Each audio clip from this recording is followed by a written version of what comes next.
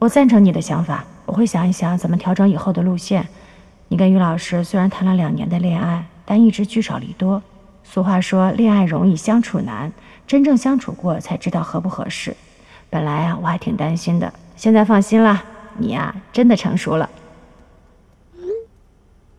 本来没想过，被你这么一说，忽然意识到这个问题。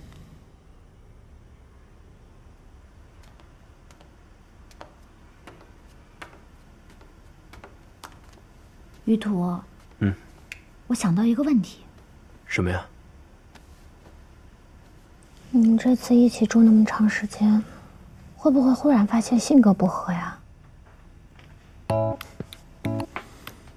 以前我教你打游戏的时候，不是天天在一起，早上九点到晚上九点，我每天六点就要起床，十一点才能到家。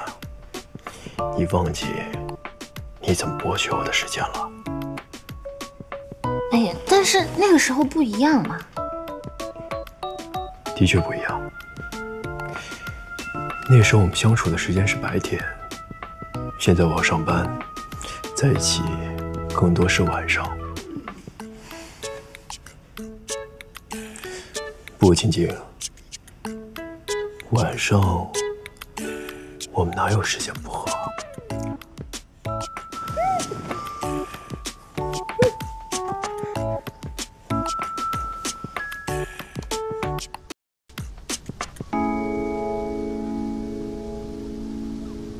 我接受不了这个残酷的现实。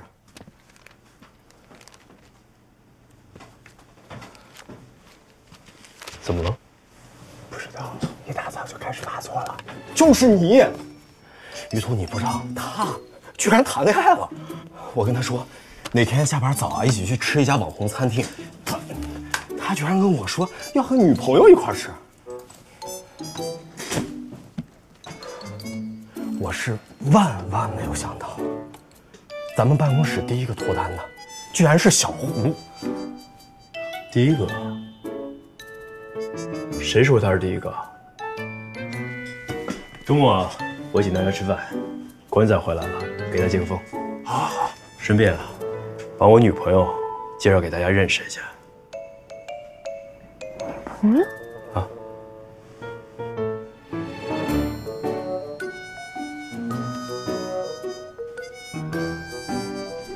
我还没有，不过最近有个师哥跟我表白，我还在考虑。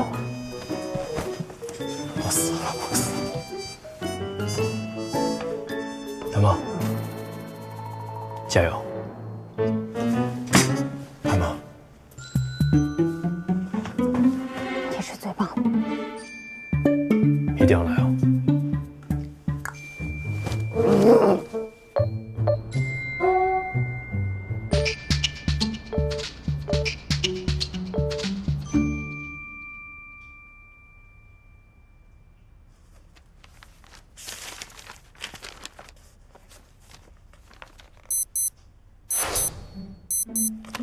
晶晶，我们该走了啊。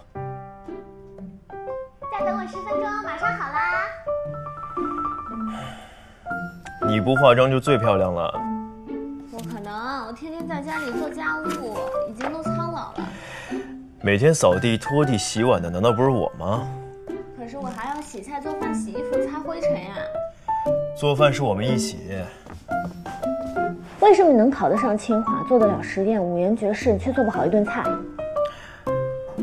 这应该说明做饭是艺术领域的事情，应该你加油啊！那我吃菜叶子也能活，你能吗？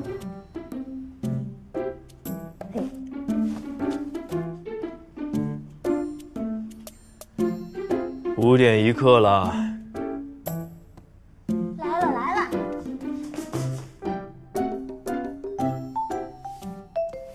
好不好看？是不是很随意、很自在，感觉像没化妆似的？这叫心机状，弄起来很费劲的。你一直在催。逆光，走近点看看。以前把我骗去你家修净化器，你画的也是这样的。所以你难过的是，以后不能跟冠在做同一个型号了，对吗？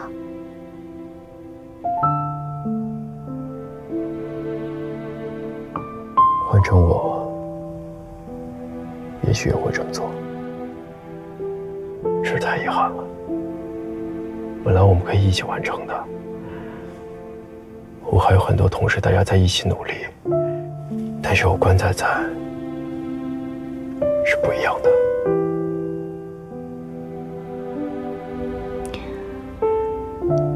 我记得你以前跟我说过，你们从事深空探索的意义，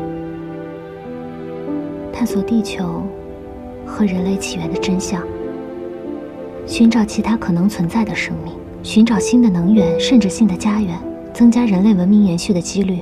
我记得没错吧？没错。那所以不管未来关在他会干什么，你们的目的都是一样的呀。虽然你们不再负责同一个型号，但你们还是在并肩同行。就像我和你一样，虽然我们不在同一个领域，但我们也是在同行，对不对？对。那就不要遗憾了，反正遗憾也没什么用。关在他才不会改主意呢。因为关在经常斗嘴，倒是很了解他。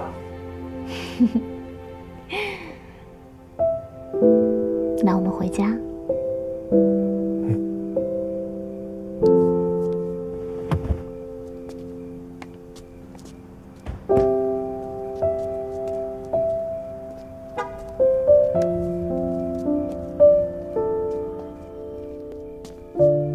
晶晶，我本来在想，关仔回来了，我可以轻松一些。但是现在，我大概要更努力一点。好巧啊！我今天也跟林姐说，我要更努力一点，成为一个更厉害的演员。去年不是已经拿了最佳女主角了吗？那还可以再接再厉啊！你又不会只做一颗星星，对吧？我要拿更多的奖，而且你那么多奖杯已经刺激到我了。你说，万一以后有人好奇于设计师的家属是谁，一查，哎，只是一个长得特别漂亮的人，那多没面子啊！晶晶，嗯，你夸自己真的是越来越不着痕迹了。